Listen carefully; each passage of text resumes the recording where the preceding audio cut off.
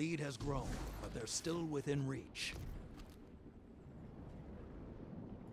Zone B captured. Zone advantage is yours. Zone C lost.